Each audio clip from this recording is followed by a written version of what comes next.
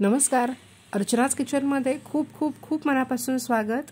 तर थंडीचे दिवस आहेत तर या थंडीच्या दिवसांमध्ये काहीतरी मस्त गरमागरम असं खावंसं वाटतं. आणि आलू पराठा हा असा पदार्थ आहे जो लहानांपासून मोठ्यांपर्यंत सर्वांनाच आवडतो आणि सर्वांनाच तो खाता देखील येतो. कारण तो असतो अगदी छान मऊ आणि अगदी मस्त असतो. तर आज आपण अगदी छान असा आलू पराठा कसा बनवायचा हे पाहणार आहोत.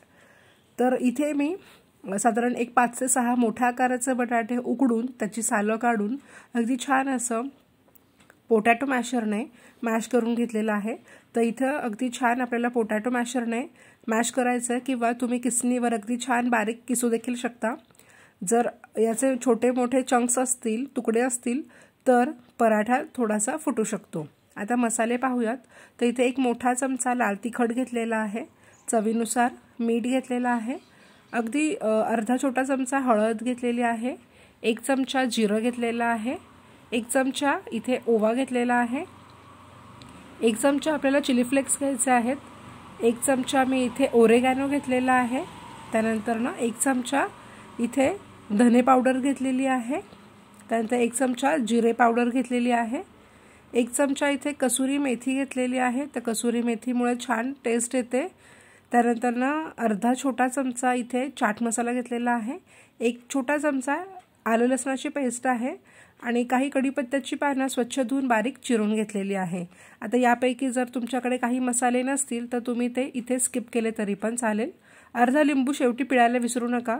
तर माझ्या लक्षात नव्हतं त्यामुळे मी लिंबू वापरलेला नाही आहे त्यानंतर भरपूर अशी बारीक चिरलेली कोथिंबीर आणि एक मोठ्या आकाराचा कांदा अगदी छान बारीक चिरून घेतलेला आहे. तर छान बारीक चिरून घ्यायचं आहे. तर हे आता आपल्याला एवढं साहित्य लागलेलं आहे.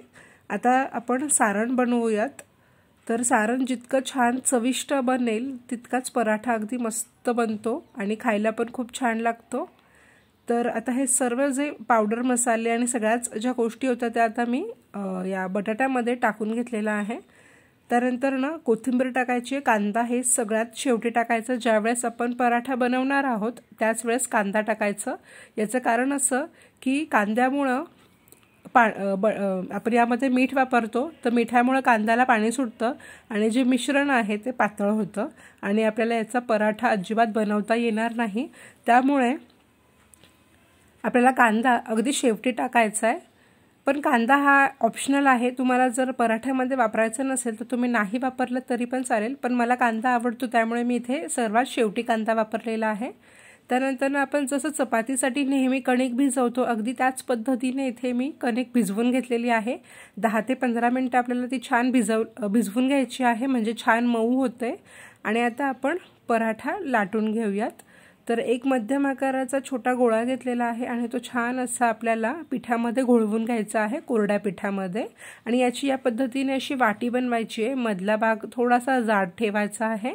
आणि आता यामध्ये सारण भरायचं आहे. तर मस्त भरपूर असं सारण भरायचं आहे ज्यामुळे अगदी छान असं च चव येते.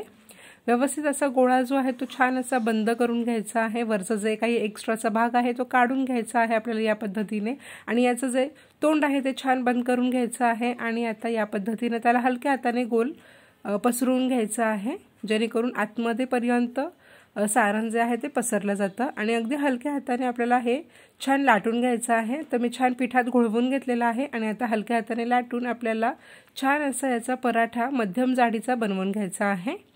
तर इथं पराठा छान मी लाटून घेतलेला आहे. आता आपण तो छान असा खरपूस भाजून घेऊयात. तर मला थोडासा पराठा जो आहे तो खरपूस आणि थोडा जास्त डार्क रंगावर भाजलेला आवडतो.